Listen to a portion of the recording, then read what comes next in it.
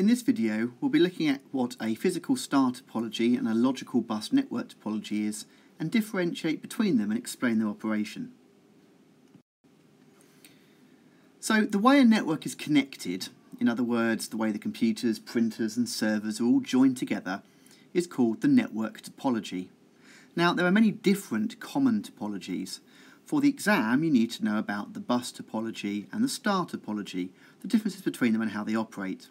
And also, importantly, to understand the difference between a physical topology and logical topologies. So let's start off with a basic understanding of the difference between a bus and a star topology. Well, this is a bus topology as shown here, and you can see why it's often called this, because it looks a bit like a bus route with various stops along the way.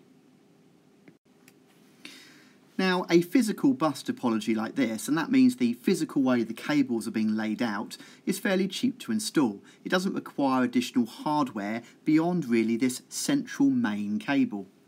There are obviously quite a lot of disadvantages of a physical bus topology, and that's one of the reasons we really don't see it anymore.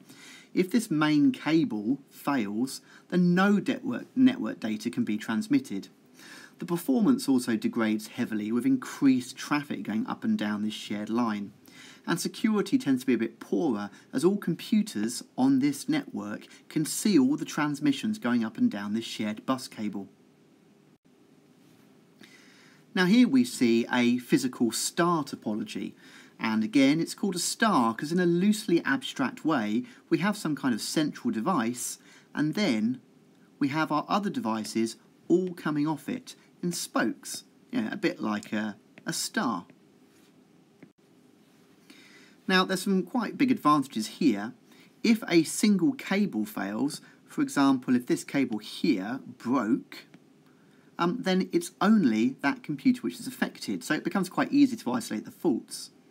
It's also very easy to add new computers to the network. Assuming we have a space here on this switch, we just added another cable, and we can add a new computer here we have pretty consistent performance even when network traffic is high, because traffic is being isolated down the cable to the actual computer. And there's almost no issues with data collision, as again each computer has its own dedicated cable. And there are obviously disadvantages. It can be costly to set up and install as there's lots of extra cabling required. And of course, if any of these central nodes go down, then the whole network can't transmit or receive data. Okay, so let's talk about the difference between a physical and a logical topology because the specification actually says you must know about a physical star topology and a logical bus topology. So here we see two network topologies being used within a single local area network. On the left of this switch, we have a single cable and we have a bus network here. This is physically wired as a bus network. Here, we have a physical star network. In other words, the computers are connected with their own dedicated cable each. The physical and logical topology, however, are different. Although this part of the network is wired in a physical star topology, it could operate logically just like a bus topology.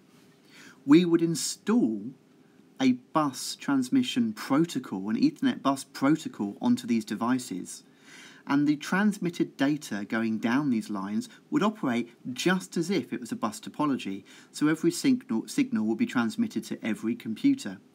So you can see here that we can have a physical topology, that's how the devices are actually physically connected via wires or Wi-Fi, and then a logical topology placed on top of it, which is the logic behind how the data is transmitted.